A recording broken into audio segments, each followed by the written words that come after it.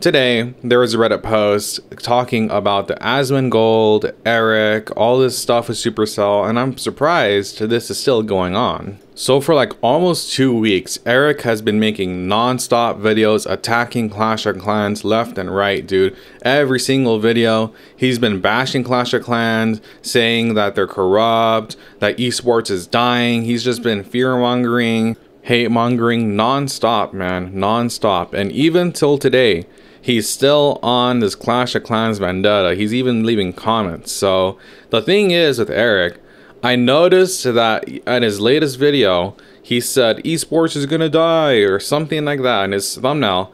And there was a comment that had like 300 upvotes. It was like, oh my god, you're milking the shit out of this Clash of Clans. And he put like a laughing emoji or something.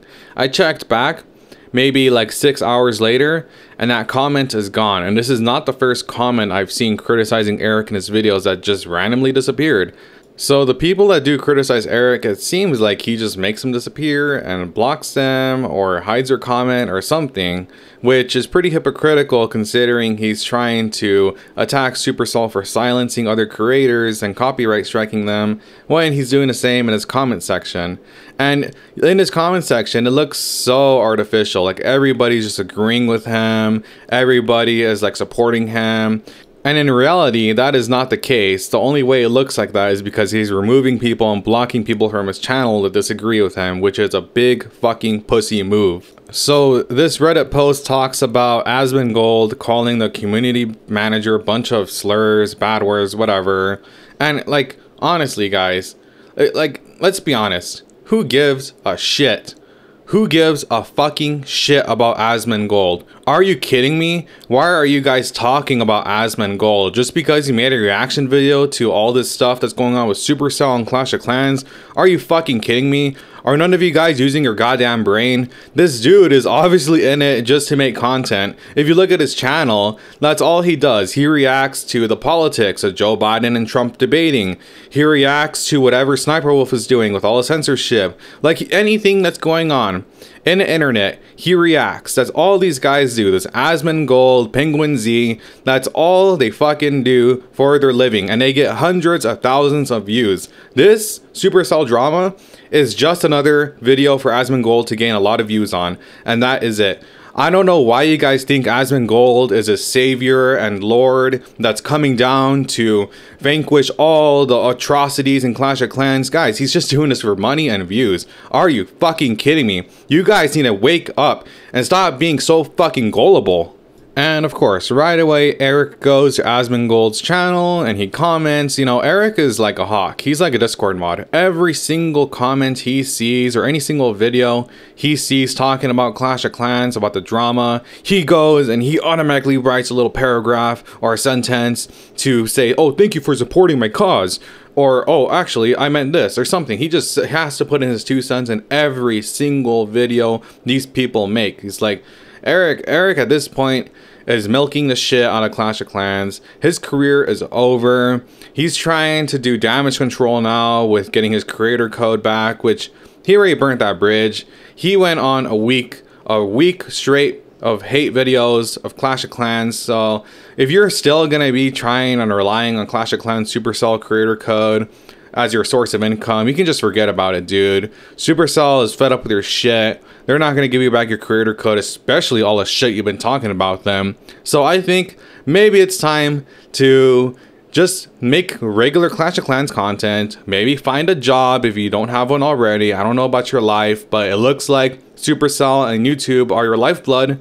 So I'm pretty sure that taking away your creator code hurt you so much that led you to making all these fucking videos. And a dick move that I want to mention about Eric is he tried to bring other creators down with him, which is completely a complete dick move. I think it was CarbonFin and iTzu. So these guys are like Supercell chills, like everyone else. They they love the game. They all they got to talk is about positivity. And if they make any comments, any negative comments, they are very very tepid, very tepid, very soft, or they narrate it very softly, or like, oh, they're doing uh, kind of bad on this, so they can improve. You know, it's nothing like too crazy, nothing too harsh.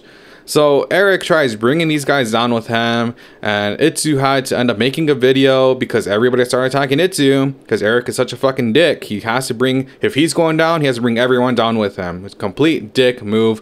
But anyway, I mean, I, I agree. Supercell does need to fix their shit. There's a lot of pay to win stuff here. It's getting worse and worse. The ores and stuff are like terrible for the game. They're not sustainable. They keep adding all this equipment. It, this game is going downhill. But the way Eric is doing it is he is just milking this dry. Like he is on his way out the door from his career. Here he got his Supercell code stripped from him. I heard he got back into their creator program but that reputation he got with Supercell now, that, that he's got bad blood with them. So good luck having that long term uh, being a sustainable solution for you because you already shut on them. That's irreversible. You made videos, countless videos on them, over a week's worth of videos. So good luck with that. If you want to keep working with a company that hates you, have fun with that, dude. And then we got Galadon making a video. So of course, Galadon is a dead Clash of Clans channel. Nobody watches his videos anymore. He's got like a million subs, but he only gets like 10,000, 20,000 views. I mean, that's lucky. I think he got 20,000 views for that Clash of Clans video he made about Eric and all this. Because, I mean, he needs to he needs to get in the drama, dude. He's dead. He's a dead channel. So, of course, Galadon is a long-term Clash of Clans shill. He tries being edgy in his video. He tries cussing and everything, but he just bleeps himself. So he ends up looking like a dumb pussy-ass bitch. And, I mean it's just the same thing. It's like Galadon. Who wants to hear from a, a, former Supercell shill? Oh, now he's gonna start talking a little bit of shit. This is what I'm talking about. Galadon is what um, the, the, epitome of what I'm talking about. They make criticisms of Supercell, but it's nothing harsh. It's nothing crazy because they're still Supercell shills. Supercell is their lifeblood. He still a creator code. He doesn't make as much money as he used to, as he said in his video, because his career is dead. He's a dead YouTuber, but he still gets some money from his Supercell creator code and the few thousands of viewers that watch him. I mean, I say few thousands of viewers, which is not which is not very few, but for a channel like him who used to get millions of views, hundreds of thousands of views, I mean, yeah, he, he's fallen off harshly. And then we got Kairos time in a comment section. Kairos, I don't know what the fuck you're doing here, dude. Stick with Brawl Stars and stay with Brawl Stars, man. Why are you in this Clash of Clans drama? And just like everyone else, Kairos recommends that everyone watches Asmongold's video, which again, why is Asmongold all of a sudden this Halo figure in a Clash of Clans or I guess Supercell community all of a sudden? This guy makes no Clash of Clans videos. I he only think he plays a game. I think he only got sponsored a few times and that's it. But all of a sudden, this Asmongold, just because he's this big guy on YouTube, he is renowned as this Halo person that looks over all the Supercell games, and now all the Supercell content creators are saying, oh, look at this guy's opinion. He's unbiased, he's smart.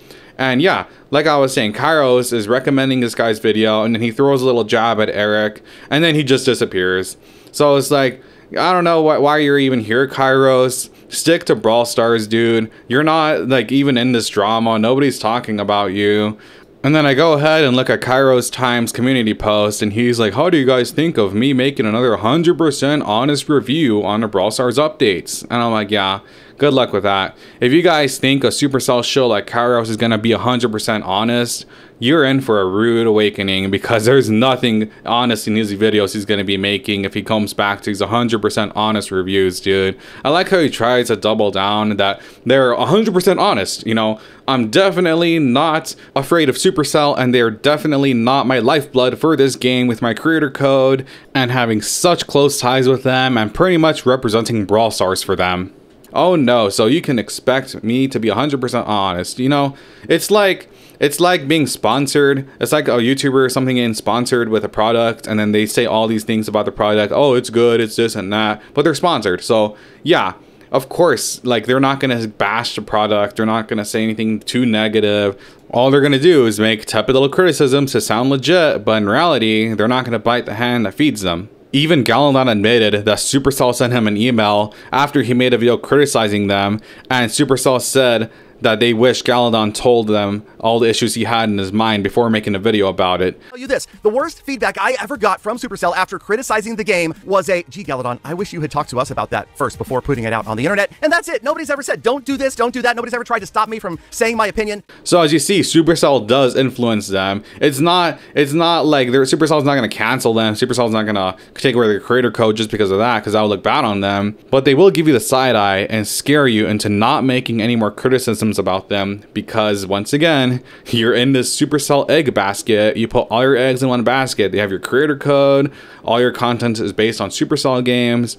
Who has the pan by the handle? Supercell. So hey, you gotta comply with them, obey them, suck their dick, kneel down to them, and that's what all you guys gotta do that rely on Supercell for your sole source of income. So yeah, guys, in summary, Kairos and Galadon are gonna stick together, defend their daddy Supercell, and Eric is gonna keep crying like a baby because he got his Supercell creator code ripped out of his hands, and he's gonna keep going in comment sections, praising people that are bashing Supercell, correcting himself, saying, oh, well, I meant to add this, or if Asmongold comes back up, everybody's gonna start praising him and being like, oh, this guy knows everything, he's objective, he's very smart. It is just a whole mess, and in reality, Eric is just trying to start another January 6th riot, just like Trump, have everybody do the dirty work for him because he's the only one losing. He's the one who got his lifeblood stripped away from him. So, what else can he do other than make a huge deal about it, make these expose videos for two weeks straight? And have all the people attack Supercell for him. So yeah, guys, let me know what you think of this topic, what you think of all this drama, and everybody that I discussed in this video. Let me know what you think about them, Asmongold, Galadon, Kairos Time, and of course, Eric. Honestly, who gives a shit about esports? I don't play esports. I don't give a fuck about that. So I could care less what happens in that area. But yeah, guys, unlike Eric, your comments will stay in the comment section, good or bad, nothing will be deleted or hidden. So feel free to speak your minds. With all that said, thank you so much for watching, and I will see you in the next Clash of Clans video.